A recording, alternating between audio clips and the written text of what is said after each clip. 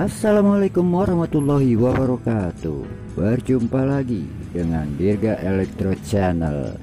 Iya rekan-rekan, saudara-saudara, sedulur semua Semoga kita selalu dalam keadaan sehat walafiat Tidak kurang suatu apa pun.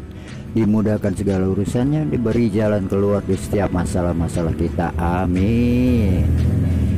Iya simak terus videonya. Ya kali ini nih ada TV apa nih Alexander Pro ya 21 in. Ini flat tapi masih panjang buntutnya ya. Ini katanya nih ini sub ya. Katanya uh, mati ya. Oke kita coba ini colokannya jangan lupa subscribe comment like dan sharenya. Bagi yang sudah saya subscribe saya ucapkan banyak-banyak terima kasih. Semoga mendapat balasan yang berlipat ganda dan diterima amal ibadahnya. Terima kasih. Yang belum jangan ragu dan bimbang untuk subscribe Dirga Electro Channel.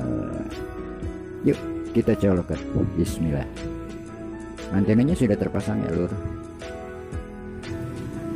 Oke sudah dicolok. Power. Standby nyala. Terang. Terang tapi nggak ada tampilan ya? Terang atau kita pencet program ya coba. Tidak ada respon apa-apa. Yuk simak terus videonya sampai tuntas biar dapat manfaat-manfaat penting di dalamnya. Dan juga barangkali bermanfaat ya. Dan juga poin-poin penting di dalamnya. Simak terus lanjut. Iya dulu sudah dibongkar sudah dibuka baut-bautnya. Ini jeroannya kayak gini dulu soket-soket kabel sudah dicopot. Kita lihat secara fisiknya ya. Oh iya ini oh. ini defleksinya masih ter terikat ya.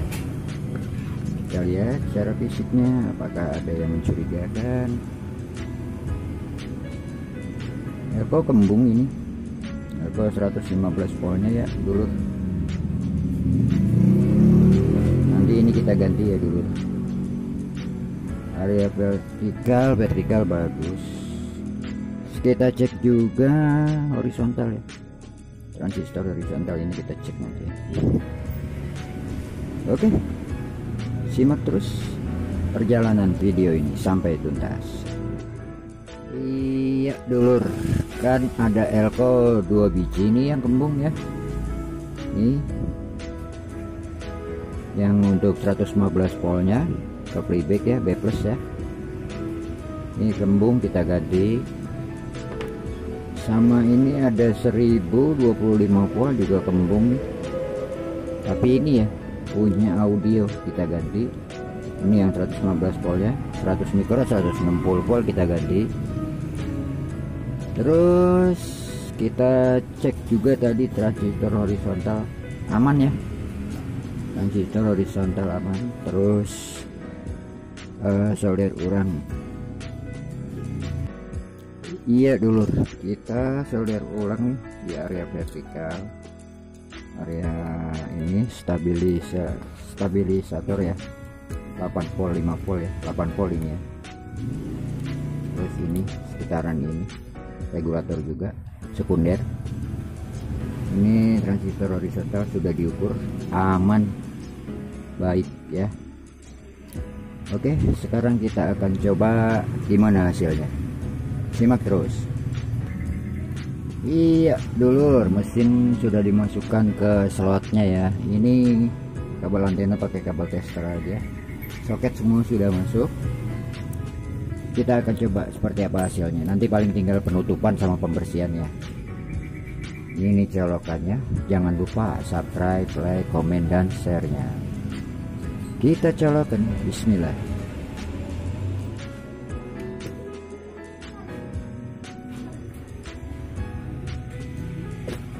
Iya.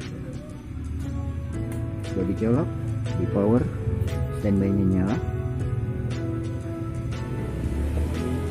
Gimana hasilnya? Alhamdulillah. Sudah ada film sidul ya sidul anak Betawi anak sekolahannya cakep sekali. Dan suaranya juga sudah timbul. Iya Alhamdulillah sudah berhasil. Jadi penyebabnya itu dua elko ya. Dua elko. Untuk audio 1025 volt sama untuk B plus playback 100 mikro 160 volt. Sama sekalian solder ulang area stabilizer sama vertikal ya. Ya demikian persembahan Dirga Elektro Channel. Semoga bermanfaat. Mohon maaf atas segala kekurangan. Assalamualaikum warahmatullahi wabarakatuh